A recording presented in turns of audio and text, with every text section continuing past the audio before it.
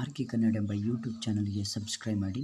ಇಲ್ಲಿ ಮುಖ್ಯವಾಗಿ ನಾನು ಈ ವಿಡಿಯೋದಲ್ಲಿ ತುಂಬ ಮುಖ್ಯವಾದಂತಹ ವಿಡಿಯೋವನ್ನು ಹೇಳ್ಕೊಡ್ತಾ ಇದ್ದೇನೆ. ಪ್ಲೀಸ್ ಸ್ಕ್ರಿಪ್ಟ್ ಮಾಡದೆ ಕೊನೆವರೆಗೂ ನೋಡಿ, ಹಾಗೆ ಸಬ್ಸ್ಕ್ರೈಬ್ ಮಾಡಿ. ಬ್ರೇಕಿಂಗ್ ನ್ಯೂಸ್ ಏನಪ್ಪ ಅಂದರೆ, ಇಲ್ಲಿ ಜುಲೈ ಇಪ್ಪತ್ತು ಜುಲೈ ಇಪ್ಪತ್ತರಂದು ಇಲ್ಲಿ ದ್ವಿತೀಯ ಪಿ ಯು ಸಿ ಕರ್ನಾಟಕದಲ್ಲಿ ಬರೆದಂತಹ ದ್ವಿತೀಯ ಪಿ ಯು ಸಿ ಒಂದು ರಿಸಲ್ಟು ಜುಲೈ ಇಪ್ಪತ್ತರಂದು ಬಿಡುಗಡೆ ಆಗುವಂತಹ ಒಂದು ಸಂಭವ ಇದೆ ಈ ಗ್ಯಾರಂಟಿ ನಿಮಗೆ ಪಿ ಯು ಸಿ ಫಲಿತಾಂಶ ಪ್ರಕಟವಾಗುತ್ತೆ ಅಂತ ಸುರೇಶ್ ಕುಮಾರ್ ಅವರು ಸ್ಪಷ್ಟನೆ ಕೊಟ್ಟಿದ್ದಾರೆ. ಜುಲೈ ಇಪ್ಪತ್ತರಂದು ಈ ಪಿ ಯು ಸಿ ಫಲಿತಾಂಶ ಪ್ರಕಟವಾಗುತ್ತೆ ಅಂತ ಇಲ್ಲಿ ಆ ಒಂದು ಶಿಕ್ಷಣ ಸಚಿವರು ಆಲ್ರೆಡಿ ಹೇಳಿಬಿಟ್ಟಿದ್ದಾರೆ.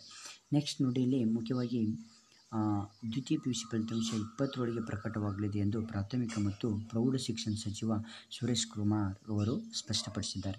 ಈ ಕುರಿತು ಟ್ವೀಟ್ ಮಾಡಿರುವ ಅವರು, ಫಲಿತಾಂಶ ಪ್ರಕಟಣೆ ಬಗ್ಗೆ ಈಗಾಗಲೇ ತಿಳಿಸಿದ್ದೇನೆ. ಈಗ ಮತ್ತೊಮ್ಮೆ ಸ್ಪಷ್ಟಪಡಿಸುತ್ತಿದ್ದೇನೆ. ಜುಲೈ ಇಪ್ಪತ್ತರ ಒಂದು ಸುಮಾರಿಗೆ ಫಲಿತಾಂಶ ಹೊರಬೀಳುವ ಸಾಧ್ಯತೆ ಇದೆ ಎಂದು ಹೇಳಿದ್ದಾರೆ. ಓಕೆ ಫ್ರೆಂಡ್ಸ್, ರೆಡಿಯಾಗಿರಿ. ನಿಮ್ಮ ಒಂದು ರಿಸಲ್ಟ್ ಪಿ ಯು ಸಿ ಒಂದು ರಿಸಲ್ಟ್, ಯಾವುದೇ arts, P U C, commerce ಅಥವಾ ಸೈನ್ಸ್ ಯಾವುದಾದ್ರೂ ಅದ್ರ ಬರೆದರೂ, ಒಟ್ಟು ನಮ್ಮ ಕರ್ನಾಟಕದಲ್ಲಿ ಬರೆದಂತಹ ಪಿ ಯು ಸಿ ವಿದ್ಯಾರ್ಥಿಗಳ ಒಂದು ರಿಸಲ್ಟ್ ಜುಲೈ ಇಪ್ಪತ್ತರಂದು ಇಲ್ಲಿ ಬಿಡುಗಡೆ ಆಗುತ್ತೆ ಅಂತ ಈ ಶಿಕ್ಷಣ ಸಚಿವರು ಸುರೇಶ್ ಕುಮಾರ್ ಅವರು ಸ್ಪಷ್ಟನೆ ಪಡಿಸಿದ್ದಾರೆ friends okay thank you friends subscribe ಮಾಡಿ ಹಾಗೆ ನಿಮ್ಮ ಒಂದು ಫ್ರೆಂಡ್ಸಿಗೆ ಶೇರ್ ಮಾಡೋದನ್ನು ಮಾತ್ರ ಮರಲಿಕ್ಕೆ ಹೋಗಬೇಡಿ.